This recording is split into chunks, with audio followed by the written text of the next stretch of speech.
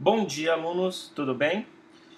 Nesse tutorial, nós veremos como que irá funcionar o processo de avaliação da Escola Alegria de Aprender, que inicia-se nessa semana que está vindo.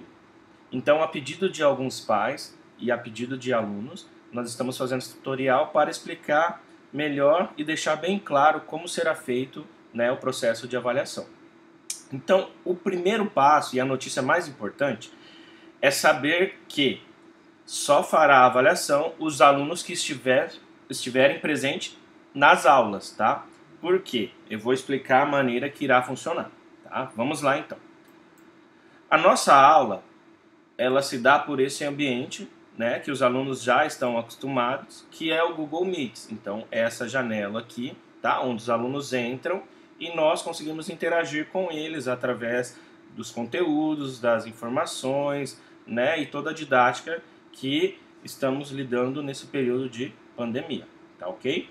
Então, nossa avaliação vai acontecer como se fosse uma sala real. Então, essa é uma sala de aula tá? Os alunos vão entrar, aqui eu tenho todos os nomes dos alunos quando eu clico em pessoas, né? Quando eu vou clicar aqui em pessoas está toda a relação de alunos. No momento não tem nenhum, mas quando eles estão, eu tenho toda a relação dos alunos, então a presença de quem vai fazer essa avaliação. Lembrando que para fazer a avaliação tem que estar presente na sala.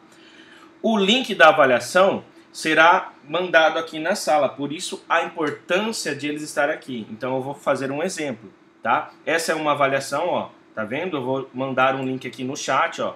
Notem que o aluno vai receber lá no chat da reunião essa, essa, essa avaliação.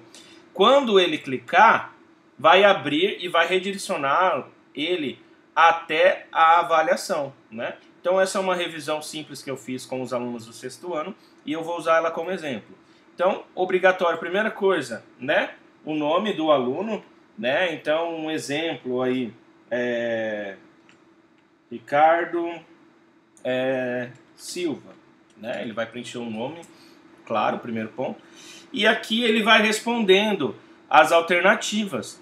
Tá? Então eu vou só dar um exemplo aqui. Tá? Então o aluno vai lá, ele vai respondendo né, as alternativas, ok? E ele vai respondendo, anotem que é bem intuitivo, tá? E ele consegue então além de responder via alternativa, ele também vai conseguir escrever, ó, através do celular ou do computador, tá?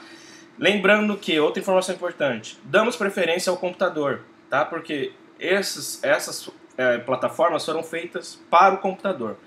Consigo fazer do celular? Consegue também. Pode ocorrer um problema ou outro, mas nós estamos aqui para rever isso, tá? Não tem problema. Mas claro que se tiver computador em casa, dê preferência para o computador. Beleza, pessoal? Tanto na reunião do Meet quanto para avaliação. Então, a parte de escrever eu vou digitar, ó, escreva sobre Euclides. Então, Euclides é, foi um grande matemático, por exemplo. Tá? Estou só exemplificando aqui de maneira breve. Ok. Ao terminar, supomos ó, que eu esqueci de escrever o nome o professor ele não vai conseguir identificar. Então, quando você apertar enviar, ó, já me voltou lá. Ó, essa pergunta é obrigatória. Supomos ainda que eu esqueci de marcar alguma alternativa. Aqui não foi o caso, né? Eu marquei todas. Ele vai dar a mesma mensagem, ok?